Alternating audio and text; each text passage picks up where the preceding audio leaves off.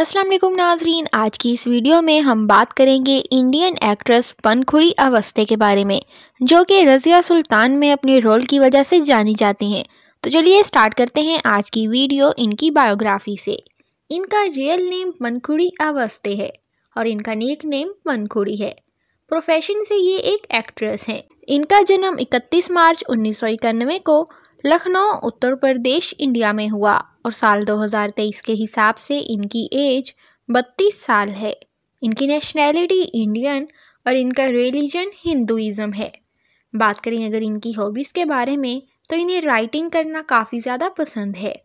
वहीं बात करें इनकी एजुकेशन के बारे में तो इन्होंने अपनी schooling blue bells school international new Delhi से हासिल की और फिर इसके बाद इन्होंने अपनी कॉलेज की पढ़ाई यूनिवर्सिटी ऑफ़ दिल्ली से हासिल की। बात करें इनकी क्वालिफ़िकेशन के बारे में तो इन्होंने बैचलर ऑफ़ आर्ट्स कर रखी है।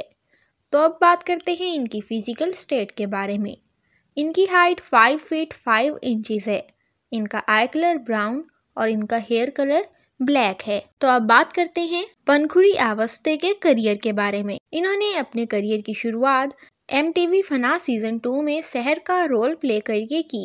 और फिर उसके बाद इन्होंने अपना फ़ेमस रोल रज़िया सुल्तान में काम किया, जिसमें इन्होंने रज़िया सुल्तान का रोल प्ले किया और इसके अलावा इन्होंने सूर्या पुत्र करण ड्रामा में भी काम किया। लेकिन अब तक इन्होंने एज अ लीड एक्ट्रेस काम नहीं किया था और फिर साल 2017 में इन्होंने अमाला का रोल प्ले किया सीरियल क्या कसूर है अमाला का में और फिर 2019 में इन्होंने कलर्स टीवी के शो कौन है के कुछ एपिसोड्स में भी काम किया?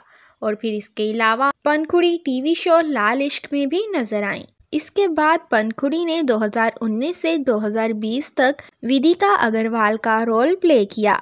टीवी सीरियल ये रिश्ता क्या कहलाता है में? और इन्होंने हिंदी सिनेमा में अपना फ़र्स्ट डेब्यूट दिया शुभ मंगल ज़्यादा सावधान में। और साल 2022 में इन्होंने गुड़ से मीठा इश्क के कुछ एपिसोड्स में भी काम किया है।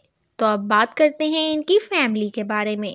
इनके फादर का नाम संजय अवास्ते है और इनकी मदर का नाम आरती अवास्ते है और इनके भाइयों का नाम अभिषेक अवास्ते और राजात अवास्ते है। मैरिटल स्टेटस के मुताबिक ये मैरिड हैं और इनके हस्बैंड का नाम गौतम रोडी है और इनका एक बेटा और एक बेटी भी है। तो अब बात करते हैं इनकी सैलरी के बारे में। ये एक एपिसोड में काम करने का सत्तर से अस्सी हज़ार चार्ज करती हैं और इसके अलावा ब्रांड्स को इंडोर्स करके भी अच्छा खासा कमा लेती हैं। वहीं बात करें इनकी नेटवर्थ के बारे में तो साल 2023 की रिपोर्ट के मुताबिक पनखुड़ी आवास्ते की नेटवर्थ पाँच मिलियन डॉलर्स है।